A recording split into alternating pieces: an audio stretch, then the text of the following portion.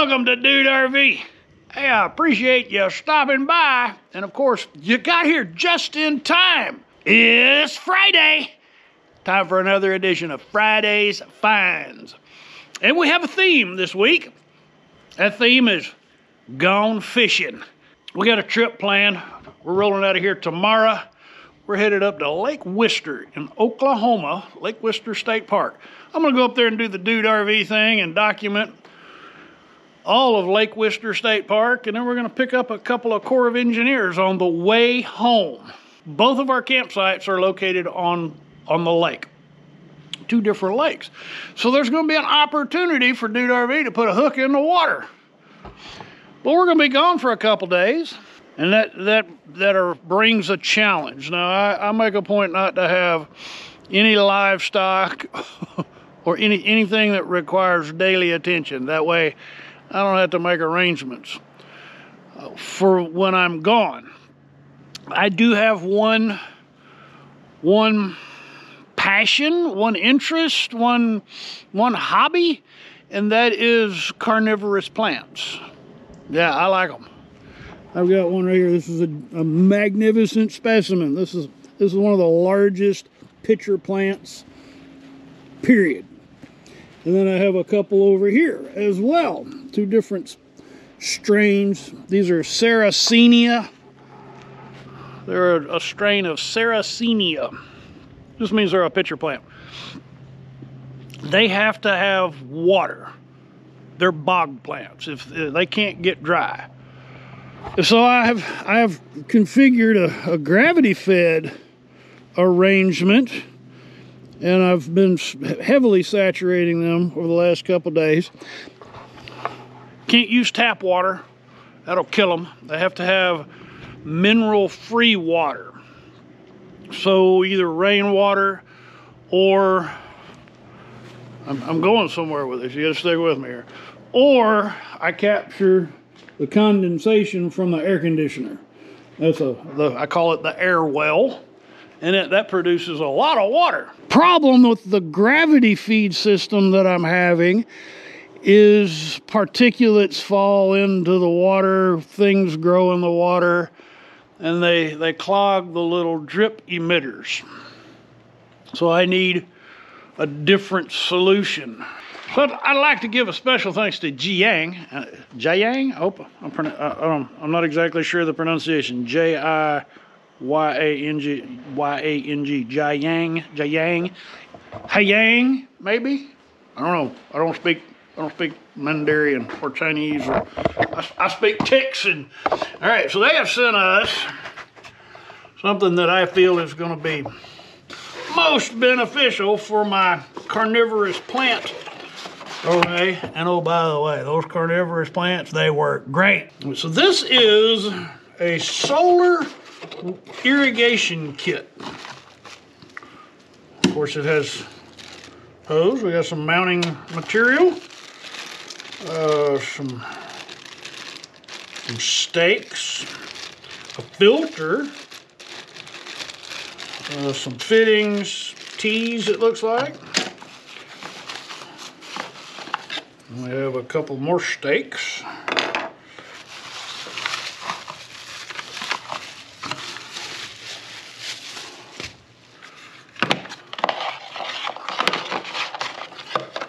And then we have the solar controller. If I understand what I read correctly, and by looking at this picture right here, all I have to do is put this assembly together, put the screen on the intake, put that on the intake, and then run an out outbound and this will hold a charge. This will operate for several days. It's got a, a battery pack in there. And according to what I read, it'll last several days before uh, the battery dies. All right, so we stick that in the ground. Let me figure out how to put this together and we'll come back.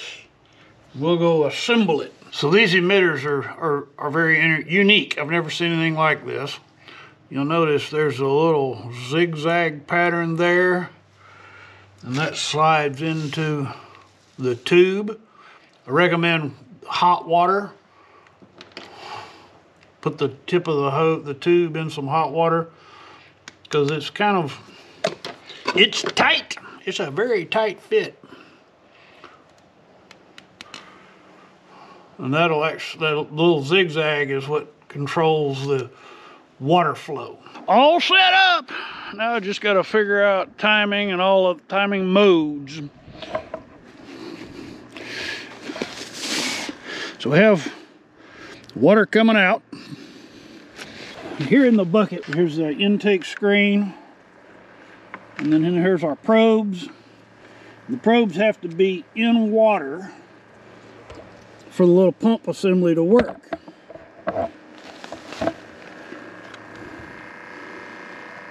You have an in and out. And then there's a 24 hour mode and a 12 hour mode. And then there's the water frequency. So every 12 hours you get 5, 10, and 15 minutes.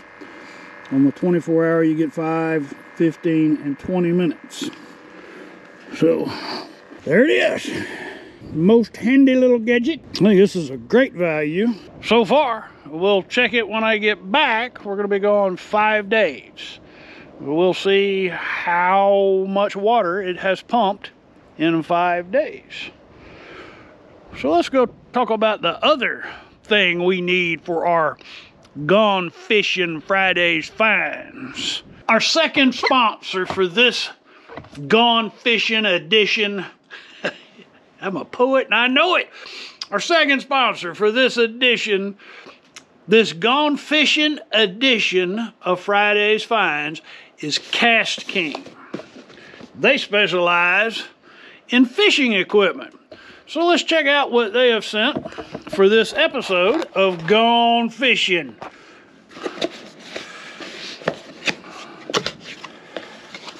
It's very nice packaging. Ooh, this will make a great gift. We all know what that is for. That's for reeling in the big ones or the small ones. It's in a nice bag. Ooh, that's pretty. Look at how pretty that is. We have a very well done owner's manual.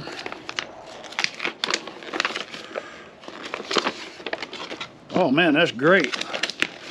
They even tell you how to set up your drag.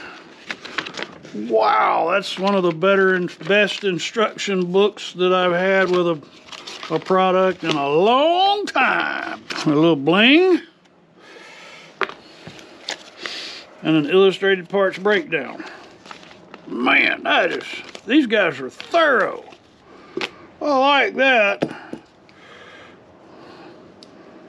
I'm a lefty. And I really like having universal rod, universal reels.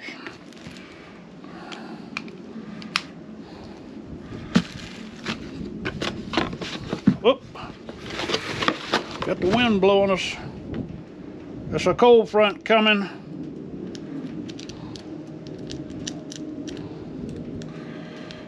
That sure is a pretty reel. Man. So now what, we, what I need to do is pair this up with a rod. And I got just the uh-huh. thing. Hold on. The rod, I'm going to pair up this really beautiful reel from Kast King. I'm going to pair that up with a seven foot tall antique Abu Garcia. Now, I am not a fishing aficionado. You know, I'm, a Zebco bobber fishing kind of guy. I do know how to throw a lure, but that's not my it's not my passion, if you will. So if you know anything about rods, maybe you can tell me in the comments below what do you know about the Abu Garcia 2133D? I know that this rod is at least as old as I am. I found this when I was cleaning out my dad's shop after he passed away.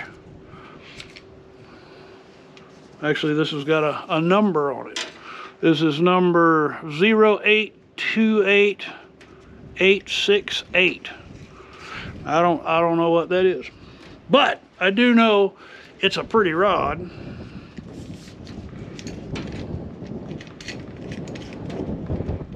And I think this makes a really a pretty combination right there.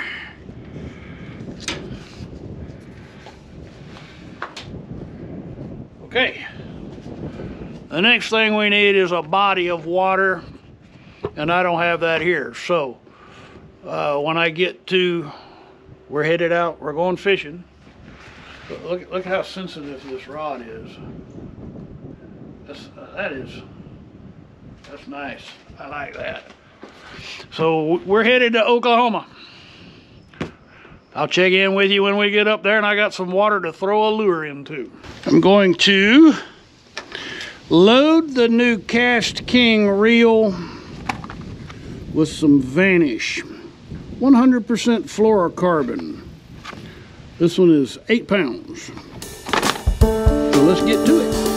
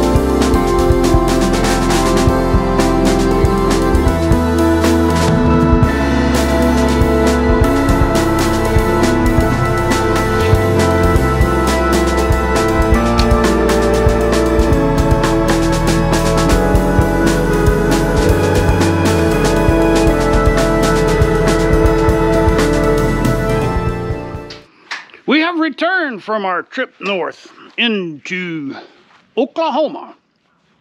That was a fun little outing. You'll see those videos come out in a few weeks. Meanwhile, we got to talk about the watering system. This thing is awesome. As you can see, we, we have water standing in both pots. So my carnivorous plants were kept watered while I was away. Our bucket is down about a quarter. Perfect. Yeah, this is a heck of a value right here.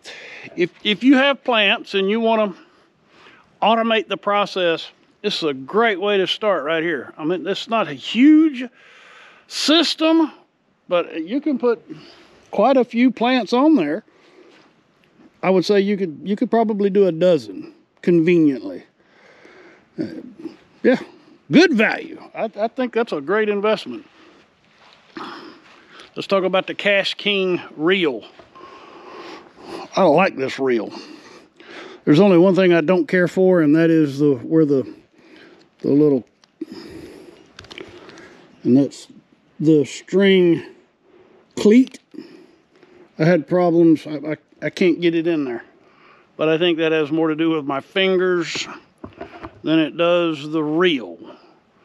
Uh, anyway, that, that doesn't change the fact that this thing is awesome. The Royal Legend by Kast King. And it is just beautiful too. As you saw in the video, I, I didn't have the opportunity to reel in any fish, but nobody was reeling in any fish. Most of the guys with the big fancy boats, they weren't even on the water. Had a cold front blow through and the fish went deep and the lake was, all the lakes were desperately low. To get to deep water, you had to go way out. Better luck next time. That's why they call it fishing and not catching.